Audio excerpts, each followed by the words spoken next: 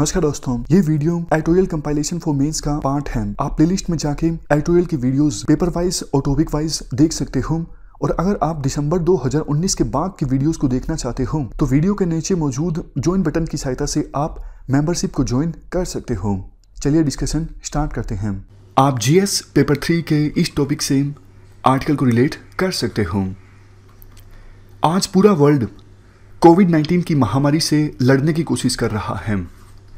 लेकिन देखो वर्ल्ड के पास कुछ ही टूल्स कुछ ही डिवाइसेस ऐसे हैं जो कोविड 19 के खिलाफ लड़ाई में इंपॉर्टेंट साबित हो रहे हैं।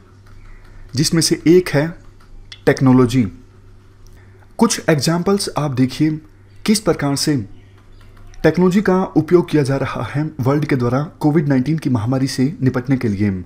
चाहे देखो टेक्नोलॉजी की सहायता से वैक्सीन डेवलप करने की बात हो या फिर लॉकडाउन की सिचुएशन में एजुकेशन प्रोवाइड करने की बात हो इवन लॉकडाउन की सिचुएशन में लोग घरों पर हैं, और टेक्नोलॉजी एक ऐसा माध्यम है जो लोगों को एंटरटेनमेंट प्रोवाइड कर रहा है।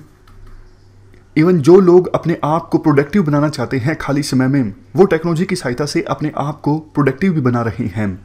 इवन टेक्नोलॉजी का इस्तेमाल लॉकडाउन की सिचुएशन में टेलीमेडिसिन के लिए भी किया जा रहा है। हमारे इस आर्टिकल का जो फोकस है, वो टेलीमेडिसिन पर ही है।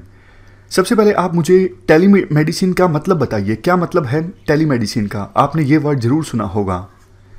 जब देखो टेलीकम्युनिकेशन या फिर इंफॉर्मेशन टेक्नोलॉजी का इस्तेमाल किया जाता है, क्लिनिकल हेल्थ केयर प्रोवाइड करने के लिए दूर दूर तक तो इसे टेलीमेडिसिन कहा जाता है। जैसे ये डॉक्टर हैं। डॉक्टर बैठे हैं हज़ार किलोमीटर दूर। और इन डॉक्टर से किसी डिज़ीज़ को लेके कंसल्ट किया जाता है किसी पर्सन के द्वारा। इंटरनेट के माध्यम से आईटी या फिर टेलीकम्युनिकेशन के माध्यम से तो ये टेलीमेडिसिन का एग्ज़ाम्पल है। टेलीमेडिसिन के देखो, काफ़ी सारे फ़ायदे हैं। सबसे बड़ा फ़ायदा तो ये है, दूर दराज के एरियाज़ में भी हेल्थ केयर प्रोवाइड की जा सकती है टेलीमेडिसिन की सहायता से। दूसरा फ़ायदा ये है कॉस्ट कटिंग काफ़ी हो जाती है।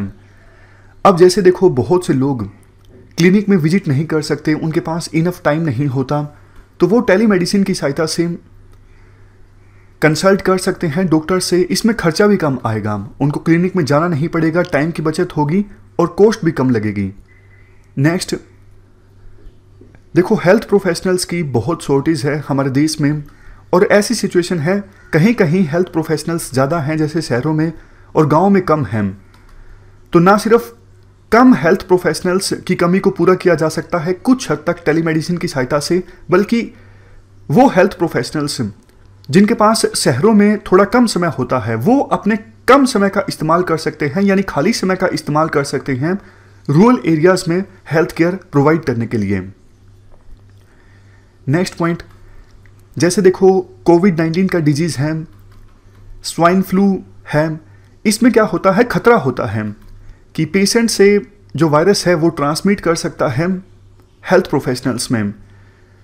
तो टेलीमेडिसिन इस चीज़ को प्रिवेंट कर देता है, क्योंकि डायरेक्ट संपर्क होता नहीं है पेशेंट में और डॉक्टर के बीच। इसलिए ट्रांसमिशन का जो खतरा है, वो भी कम हो जाता है। इस प्रकार से हमने टेलीमेडिसिन के काफ़ी सारे फ़ायदे डिस्कस किए। देखो टेलीमेडिसिन की जो ये टेक्नोलॉजी है, वैसे नई टेक्नोलॉजी नहीं है। 2000 में सबसे पहली बार हमारे देश में टेलीमेडिसिन का इस्तेमाल किया गया था। लेकिन उसके बाद कोई कानून नहीं बना। तो एक सिस्टमेटिक ढंग से जो इस्तेमाल होना चाहिए था टेलीमेडिसिन का, उस प्रकार से इस्तेमाल टेलीमेडिसिन का नहीं हो सका। लेकिन अभी लॉकडाउन लगा पूरे देश में कोविड 19 की महामारी के कारण तो टेलीमेडिसिन का इस्तेमाल किया जाने लगा बड़े स्केल पे। इवन सरकार ने भी गाइडलाइंस जारी की कि बाकी जो दूसरे हेल्थ इश्यूज़ पर कंसल्टेशन प्राप्त करनी है तो ज़्यादा से ज़्यादा कंसल्टेशन प्राप्त की जाए टेलीमेडिसिन की सहायता से। इससे लोगों ने हॉस्पिटल में जाना कम कर दिया। मतलब देखो, अगर इमरजेंसी है तो तो जाना ही पड़ेगा। अदरवाइज़ रूटीन चेकअप है तो टेलीमेडिसिन की सहायता से डॉक्टर से कंसल्ट किया जा सकता है। और आजकल टेक्नोलॉजी इतनी ज़्यादा एडवांस हो चुकी है कि डॉक्टर दूर बैठे हाई क्वालिटी इमेजेस ले सकते हैं। डॉक्टर दूर बैठे जो हार्ट बीट है उनको भी सुन सकते हैं। मतलब टेक्नोलॉजी आज के समय में काफ़ी ज़्यादा एडवांस हो चुकी है। अंत में यह कहा जाता है देखो लॉकडाउन की वजह से टेक्नोलॉजी के नए नए फ़ायदे सा, आ, सामने आ रहे हैं। अब हमें रियलाइज़ हो रहा है कि टेक्नोलॉजी का हम कितने बेहतर ढंग से इस्तेमाल कर सकते हैं। बट आवश्यकता यह भी है कि एक प्रॉपर प्रोटोकॉल प्रॉपर फ्रेमवर्क हो जिसके तहत टेक्नोलॉजी का अच्छे से इस्तेमाल किया जाए। अदरवाइज़ तो देखो हेल्थ केयर की जो क्वालिटी है, वो डिग्रेड हो सकती है। तो ये हमने पूरा आर्टिकल डिस्कस किया। टेलीमेडिसिन से संबंधित क्वेश्चन यूपीएससी के द्वारा पूछा जा सकता है कि टेलीमेडिसिन से आप क्या समझते हो? टेलीमेडिसिन की अपॉर्चुनिटीज़ या फिर लिमिटेशंस को आप एग्जामिन कीजिए। तो इस प्रकार के क्वेश्चन के लिए आप तैयार रहिए। इस डिस्कशन में फ़िलहाल इतना ही है। Thank you thank you very much for discussion